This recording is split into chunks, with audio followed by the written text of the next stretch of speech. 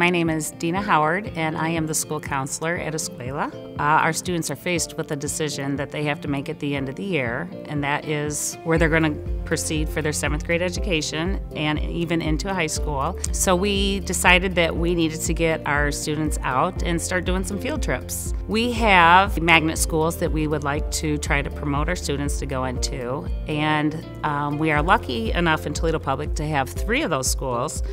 Jones Leadership Academy of Business, and this one here today, TTA, Toledo Technology Academy, and Toledo Early College um, are the three that actually start education at seventh grade. This is extremely beneficial today for our students to get out and see hands on, um, participate with other current students here, and partic participate in activities uh, within the classroom and visually see what the school is all about. So we have four activities that the students are going to rotate between.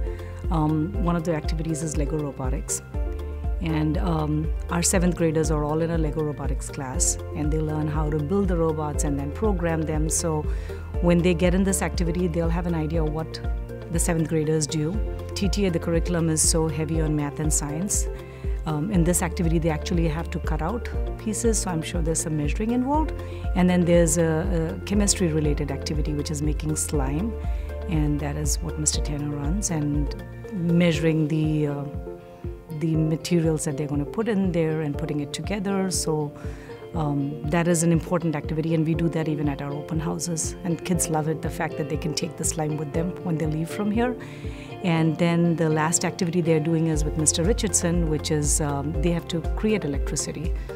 So, um, again, a very heavy science based activity where they'll understand how electricity is made and, and the wiring of it all. The biggest thing is having them do something that's hands on and understand how what they learn in the class applies to what they're creating.